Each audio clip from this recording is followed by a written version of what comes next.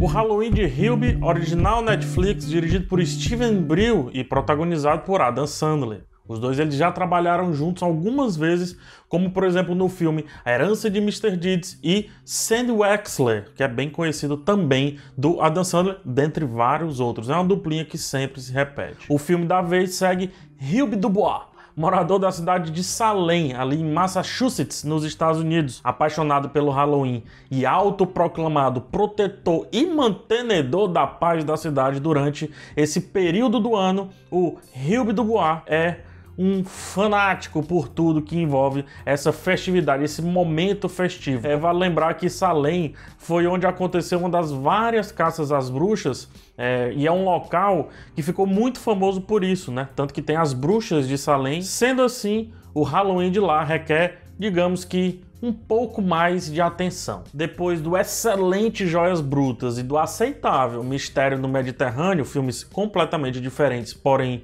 bom, o primeiro é sensacional, o segundo é, é um bom filme, o Adam Sandler pede de novo para ser colocado como um ator bobo, que faz sucesso pro nicho do nicho, do nicho da comédia pastelão. E assim vai sendo a carreira dele. Os Meyerowitz, filme muito bom. Aí, lá vem os pais. Não preciso comentar. Reine sobre mim, talvez a sua melhor atuação da carreira.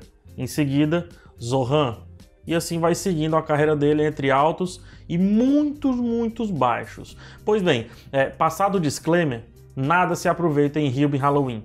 Nada.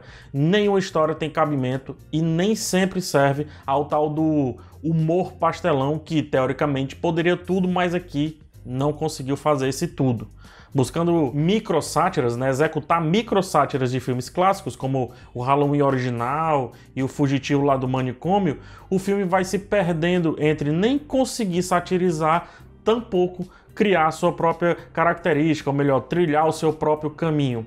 Há quem diga que esses filmes eles são ótimos para desligar o cérebro, mas esse em específico passa um pouquinho do ponto. De desligar o cérebro, ele sugere um atrofio cerebral quando aposta nas, eu diria que antiquadas piadas de peido, de vômito, de cocô, dessas coisas todas, e também no estereótipo do cara burro. Definitivamente o pior estilo de personagem que o Adam Sandler construiu ao longo da carreira, sendo bem melhor a sua caricatura do cara comum, mas que tem certas inteligências que, os levam, que o levam é, para caminhos certos, mesmo sem saber o que ele está fazendo ali, ou, ou seja, mesmo que sem querer.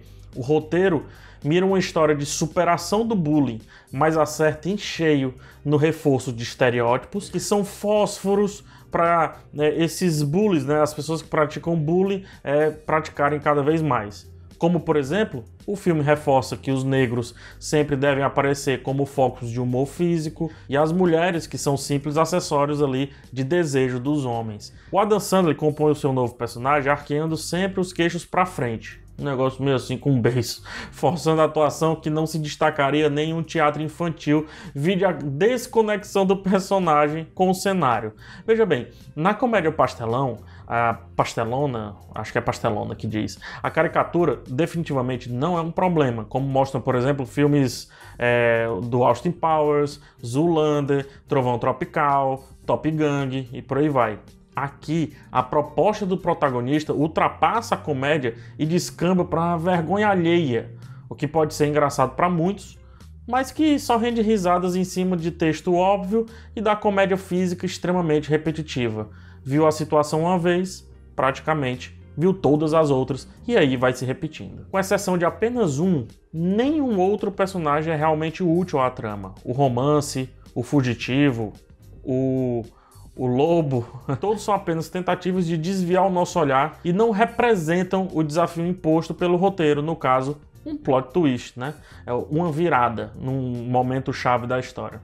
Tá tão na cara por eliminação o que pode acontecer que a grande surpresa não é nada surpreendente. E esses vários personagens que surgem, eles servem apenas para a próxima gag física, para o próximo humor ou tentativa de humor físico do Hilby, seja ele caindo de bicicleta, seja ele fugindo de objetos arremessados pelos garotos da cidade e por aí vai. Nomes como Ray Liotta, Kevin James, é, Rob Schneider e todos os outros amigos do Adam Sandler, o próprio Ben Stiller está no filme, enfim, todos os amigos do Adam Sandler estavam lá por um motivo apenas, por serem amigos do Adam Sandler. Vários que irão curtir o filme a ponto de guiar diásporas apenas pelo carinho que eles nutrem por Adam Sandler, vão curtir isso. Mas esse carinho que eu também consigo ter, dessa vez, se observado friamente, é o convite que eu faço, não é suficiente para justificar a existência de O Halloween de Hilby, filme original Netflix. Antes de ir, deixa só te fazer um convite. Dá uma passada lá no meu canal da rede social Roxinha, a concorrente do YouTube, que está aqui na tela, ó, tá bem no meu rosto. Eu vou deixar até um pouquinho aí. Eu tenho feito lives todos os dias por lá. E eu garanto que está sendo muito legal assistir filmes, assistir séries, jogar e fazer, conversar, né? E fazer tudo que o roxinho, ou melhor, a roxinha, dá direito a ser feito. Confia, assiste pelo menos uma vez, que eu acho que você não vai se arrepender. E se você quiser, você pode me ajudar financeiramente, porque você pode me dar um sub, né? Um subscribe, que não vai te render nenhum problema, pois está atrelado ao seu Prime Video. Quem tem Prime Video pode dar um sub por mês de graça para um produtor de conteúdo.